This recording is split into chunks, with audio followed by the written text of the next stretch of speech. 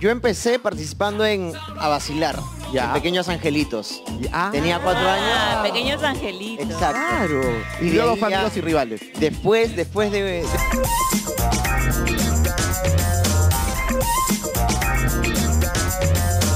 Vamos a presentarlo porque él está acá con nosotros porque va a mostrarnos su talento también. Ah, Por favor. Dayiro, adelante. ¡Dayiro Caballera! Bueno.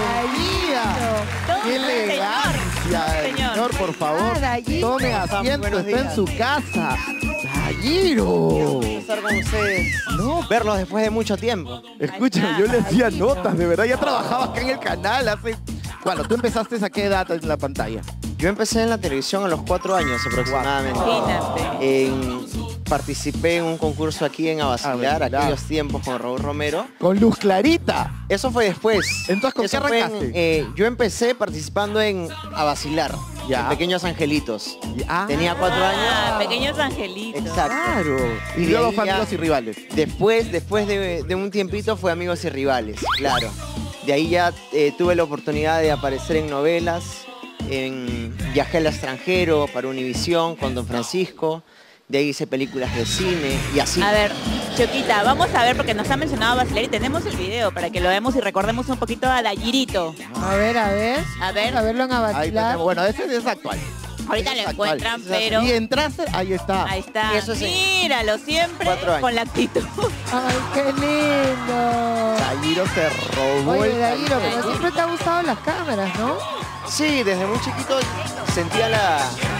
Bueno, después de estar tanto tiempo alejado, me, da, me di cuenta que se- tenía la necesidad de estar frente al público, ¿no? Claro. Es ah, un, una energía especial cuando uno está en el escenario o en las pantallas de tener ese contacto, ¿no?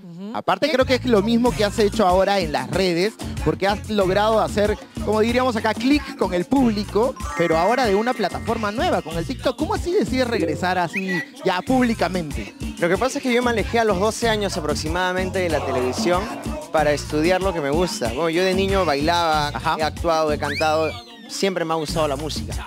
Entonces yo me alejé de, de la televisión y me puse a estudiar lo que es música, producción musical. ¿Ah, sí? Entonces, cuando, cuando estuve en televisión, en ese tiempo estaba de moda el YouTube, el Exacto, Facebook. Recién entraba. Claro, y en, en YouTube yo tengo aproximadamente 2 millones de suscriptores. ¿Qué? Dos millones de Dos millones. Por eso que veía tu placa ahí en tu... Exacto, ese canal es Dayiro Castañeda donde están todos mis videos de niño y producciones infantiles que se han hecho, ¿no? Claro, en ese tiempo tú tenías show Exacto. infantil, tenías producción infantil. Eh, música infantil, música infantil. ¿Y has Eh, seguido subiendo videos a YouTube ahora? cuando yo me alejé de, de la televisión para, para estudiar, igual seguimos con la producción musical. O sea, en, las plataformas musicales eh, hay solo un álbum de Dayiro, pero producido hay como seis infantiles. Infantil. que todavía no están en las plataformas y cuando lancemos mi primer disco ya como Dayiro adolescente o, o ya grande, Claro. eh, vamos a, soltar para que ese canal no quede en el olvido, no siempre tenga Claro. material nuevo.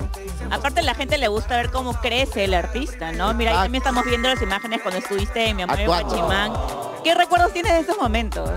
No, recuerdos muy bonitos, hermosos de uno, de la producción, de los compañeros. Yo siempre voy a estar agradecido con, con todas las personas que me dieron la oportunidad y que me tomaron en cuenta para, para sus producciones. En este caso, la señora Michelle Alexander, ¿no? Ajá. Que, que trabajamos varias, o sea, Mi Amor Guachimán 1, Claro. 2, Vacaciones Claro. Secretas, Locuras de Amor, Derecho de Familia. Muy agradecido. Eres Yo creo- caserito acá de América también. Se podría decir. Bueno, que pero increíble porque tenemos todos los archivos de Dayiro que además hoy viene a presentarnos, o bueno, a mostrarnos, mejor dicho, su talento, señores, porque este chico es bastante talentoso.